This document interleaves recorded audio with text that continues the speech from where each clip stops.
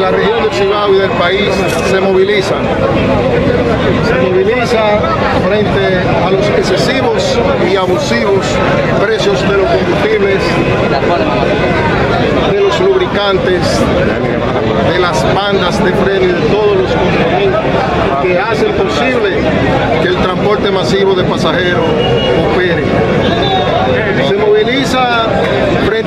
de los combustibles y frente a la canasta familiar, del sector choferil,